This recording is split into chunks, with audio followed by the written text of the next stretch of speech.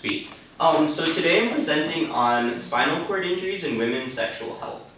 Um, so first I'm going to briefly define what a spinal cord injury is. So according to the Mayo Clinic, a spinal cord injury is damage to any part of the spinal cord or nerves at the end of the spinal canal. And what this causes is, is permanent change in strength, sensation, and other bodily functions below the site of injuries. So oftentimes what this looks like is someone being in a wheelchair, someone losing the ability to feel or move their legs, or even the ability to feel or um, experience the pleasure from clitoral stimulation. Um, but everyone's sexual health is important. I chose this study and this line of research because I think that disabled people's sex lives are understudied and undervalued. Um, from an evolutionary standpoint, uh, sexual relationships are important for, towards pair bonding and overall satis uh, uh, relationship satisfaction. And people with, who are disabled should not be excluded from this practice. Um, previous research on the sexuality of people with spinal cord injuries shows that women with spinal cord injuries show low levels of sexual dysfunction but moderate to poor sex lives. This means that many women with spinal cord injuries have the ability to have sex, um, positive sex lives, but for some reason, um, in practice, do not have them. Secondly, around 50% of women with spinal cord injuries um, are able to reach orgasm through clitoral stimulation. So this is much lower than the national average, and that probably reflects damage to the spinal canal and uh, clitoral nerve endings. Um, and lastly, nearly all women with spinal cord injuries wish that they were given more information from their doctors about their sex lives when they were originally in treatment.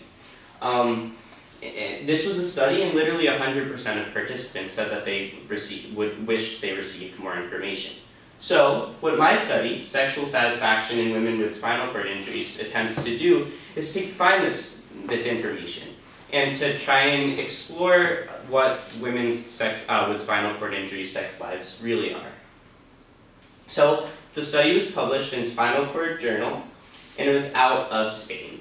What they did is they took women from a spinal cord center where people live and receive treatment, and they gave them a questionnaire.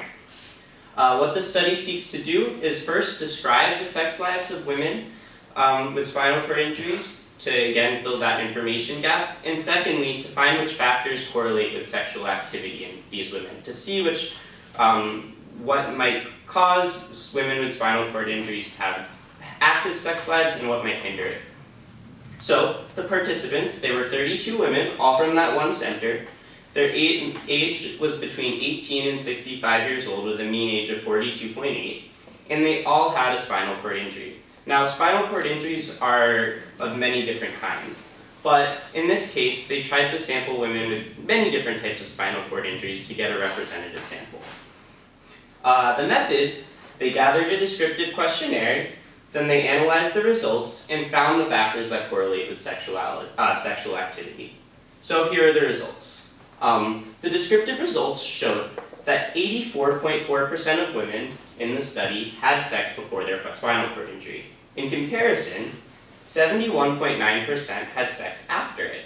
So this shows that most women with spinal cord injuries at least attempt to have sex after their injury. So um, this is definitely a topic that deserves to be studied and uh, something that you know happens in practice. Also, uh, this bursts the stereotypes that women with disabilities and people in wheelchair don't have sex because many of them do.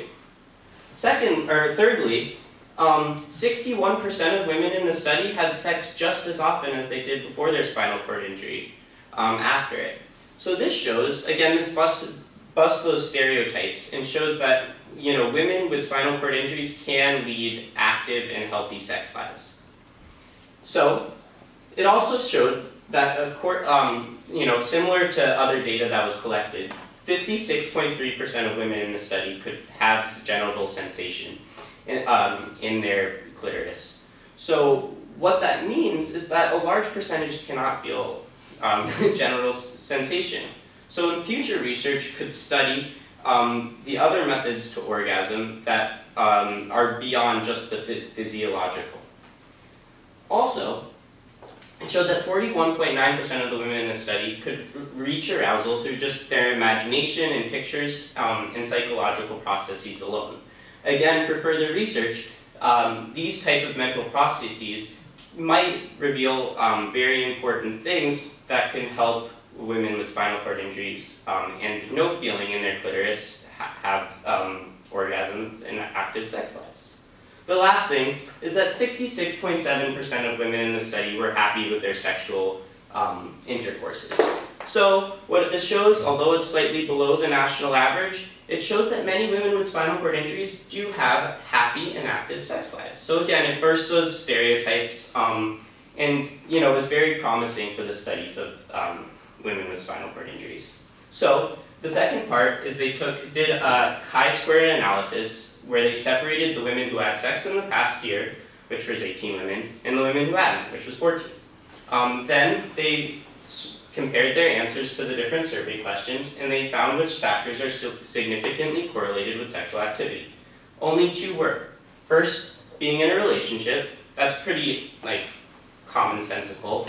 People in a relationship have more access to sexual partners. Um, secondly, having genital sensation, also probably commonsensical.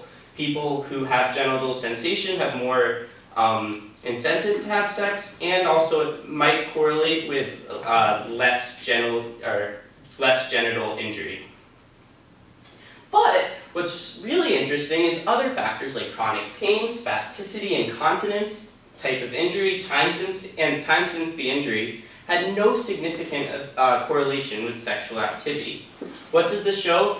This shows this incredible promise that women with all kinds of spinal cord um, injuries have the ability to have active sex lives.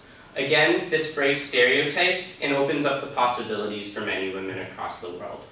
So the limitations of this study, there's a small sample size of just over 32, or just over 30 participants. Um, there could there was a potentially biased sample since they all came from the same center in Spain. And also the valid, validity of the questionnaire can be brought into question because you know maybe women weren't comfortable answering topics on these uh, about these sensitive issues.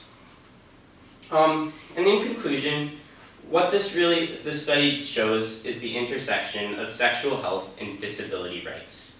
So, um, the principles of sexual health, uh, as stated by the World Health Organization and the UN, state that every person deserves sexual pleasure and just or deserves the ability to um, to achieve or to pursue sexual pleasure.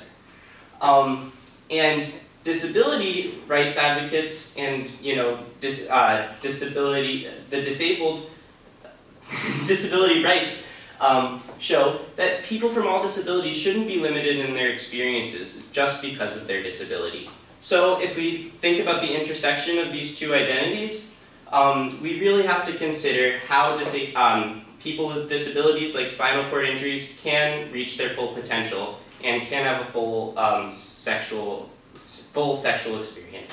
Uh, thank you very much.